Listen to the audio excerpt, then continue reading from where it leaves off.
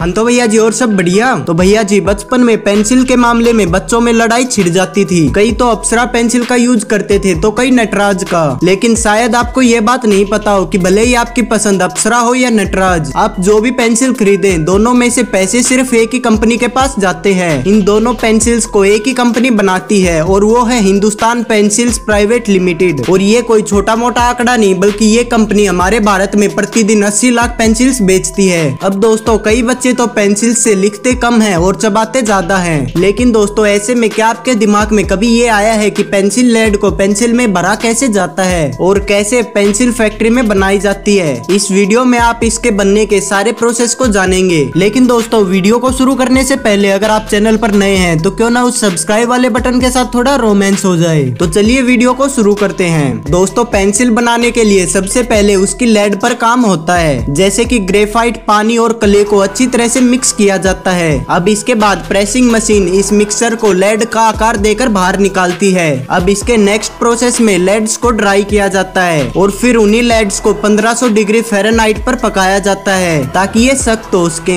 अब इस लेड को वैक्स में डुबोया जाता है और अगर कलरफुल पेंसिल बनानी है तो वैक्स या फिर कले में कलर मिलाया जाता है। अब दोस्तों लेड तो बन गई, लेकिन अब हम इसे लकड़ी में डालेंगे कैसे? दरअसल पेंसिल तो सिर्फ़ उन्हीं लकड़ियों से बनाई जाती है जो कि बाद बाद में शार्पनर से छिल जाएँ और इतनी कमज़ोर भी ना हो कि हाथों में ही टूट जाएँ। और इसीलिए पूरी दुनिया में पेंसिल बनाने के लिए देवदार पेड़ की लकड़ी का इस्तेमाल किया जाता है। अब सबसे पहले लकड़ियों को बड़ी बड़ी शीट्स में काटा जाता है और मशीन द्वारा कुछ इस तरह इन पर सांचे बना दिए जाते हैं, जिनके ऊपर लेड को रखा जा सके। सबसे पहले इन सांचों में अच्छे से ग्लू भरी जाती है और फिर इसमें लेड्स को डाला जाता है, ताकि वो अच्छी तरह से अपनी जगह पर चिपक सके। इस तरह की एक और वुडन शीट को इसके ऊपर रखा जाता है। अब इन सीट्स को रखकर इन्हें एक कंप्रेसर मशीन में डाल दिया जाता है, जो कि दोनों तरफ़ से 900 किलो का फोर्स लगाते हैं और करीब एक घंटे तक ये प्रोसेस चलता है, ताकि लकड़ियाँ अच्छे से चिपक जाएँ। अब बारी आती है लकड़ी की सीटों को पेंसिल में बदलने की। उसके बाद जो सीट्स कंप्रेसर में डाली गई थी, उन्हें इस मशीन में डाल दिया जाता है और शेप्स के अकॉर्डिंग उन्हें काट दिया जाता है। नेटराज पेंसिल में हेक्सागन शेप को यूज़ किया जाता है, जिसके लिए ये प्रोसेस दो बार करना पड़ता